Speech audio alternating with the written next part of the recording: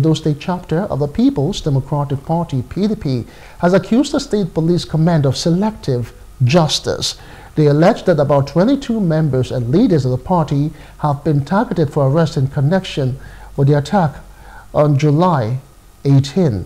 In a press conference on Sunday, the State PDP chairman Dr. Tony Aziegbemi stated that the 22 members and leaders are currently under police surveillance due to a petition filed by the APC.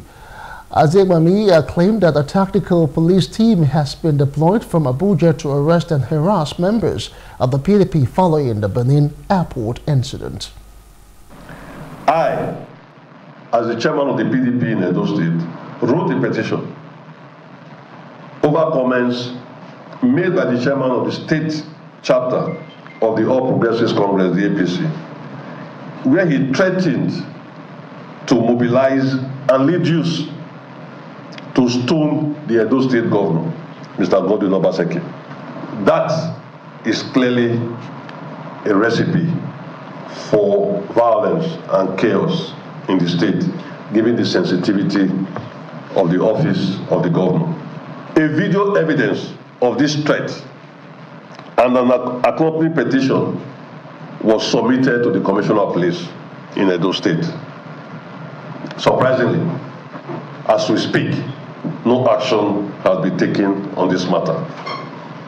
Unlike the swift manner in which the police responded to the petition against the Deputy Director General, Media and Publicity, for the PDP Campaign Council, Reverend Olu Martins. We hereby call on Inspector General Police to use his good offices and formations to ensure that actual criminal, criminals are brought to book as against the innocent members of the society being accused unjustly. The actual criminals are parading the streets freely and bragging that nothing can happen to them as long as they belong to the ruling APC.